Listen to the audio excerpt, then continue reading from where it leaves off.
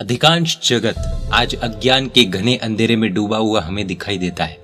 अज्ञान एक ऐसा रोग है जिसको पहचानने के लिए भी ज्ञान चाहिए। पर अक्सर ऐसा होता है कि गुरु भगवंत के संपर्क के अभाव से अज्ञानता की परंपरा चलती ही रहती है और व्यक्ति कुछ चमत्कार या आश्चर्य के प्रभाव से ही शायद उसमें से निकल पाता है। अंधविश्वास में डूबते श्रावक श्राविकाओं को भी गुरु भगवंत ही बचाते हैं। कलिकाल कलपत्रु दादा गुरुदेव, महान जैन आचार्य भगवंत श्रीमद विजय, राजेंद्र सुरेश्वर जी महाराजा के जीवन में ऐसी ही एक घटना घटी थी। जानने के लिए बने रही इस वीडियो के अंत तक। और जैन धर्म की सुंदर बातें जानने के लिए Jain Media YouTube channel subscribe कर दीजिए।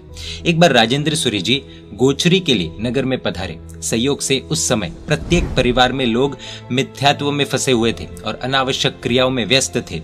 दादा गुरुदेव गोचरी के बिना ही वापस उपाश्रय में लौट आए। दरअसल ये हमारे शासन और समाज की विडंबना ही है कि कई बार घर आए जंगम तीर्थ, यानी कि साधु साध्वी जी भगवंत को नजरअंदाज कर अलग अलग मिथ्यात्व एवं अंधविश्वास में व्यस्त रहते हैं।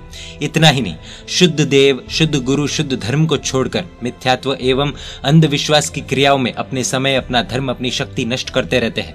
साक्षात अरिहंत परमात्मा को छोड़कर हम यहाँ वहाँ भटकते हैं। और ये स्थिति दादा गुरुदेव के समय में भी थी। आज भी उतनी ही देखने को मिलती है। फिर हुआ ये कि दादा गुरुदेव के अनुयायियों के घरों में से अंधविश्वास की वो सामग्री अपने आप उपाश्रय में आ गई।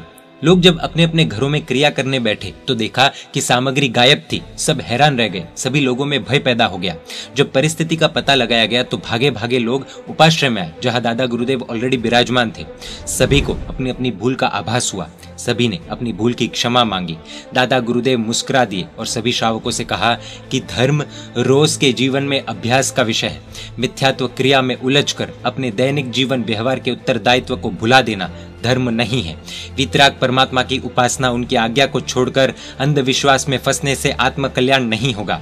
हमारी साधना ऐसी नहीं होनी चाहिए। सभी श्रावक श्राविकाओं ने दादा गुरुदेव के मर्म भरे उपदेश सुने और अपनी भूल का पश्चाताप किया। दादा गुरुदेव ने सभी को धर्म लाभ देते हुए विदा किया। सभी श्रावक श्राविकाएँ अपने घर लौटे। महापुरुषों का जीवन ही ऐसा होता है कि जिससे कुदरत भी उनका साथ देती है। जहाँ धर्म के नीति नियम टूटते हैं, वहाँ पर कुदरत भी उसे सह नहीं सकती और महापुरुषों का सहारा लेकर वापस उस नीति नियमों को अखंडित करने का प्रयास करती है। दूसरी चीज़ ये कि अंधविश्वास एक ऐसी चीज़ है कि जो अपने मानसिक संतुलन को बिखेर देती है और हमें परावलंबी बना देती है, यानी किसी और पर निर्भर बना देती है। हमें सतत ऐसा ही लगने लगता है कि ये नहीं करेंगे तो ये हो जाएगा, वो नहीं करेंगे तो वो हो जाएगा आदि। जबकि हमारे पुण्य और भाग्य के आगे किसी की भी कुछ नहीं चलती और कुदरत के आगे तो बिल्कुल भी नहीं। गुरु भगवंत हमारे अंदर रही हुई ऐसी ही अंध मान्यताओं की, अंधता को, अंधविश्वास को दूर करने का कार्य करते हैं और हम में रहा हुआ ये परावलंबिता का कचरा दूर फेंक देते हैं। इसलिए ही गुरु भगवंतों की भूमिका हर व्यक्ति के जीवन में बहुत अहम होनी चाहिए।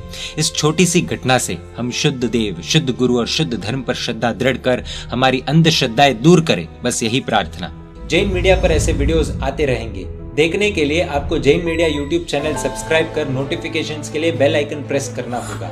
आप हमें फेसबुक और इंस्टाग्राम पर भी फॉलो कर सकते हैं। परमात्मा की आज्ञा विरुद्ध कुछ भी कहा हो, तुम इच्छा में दुकड़म जय जिन शासन, जय महावीर।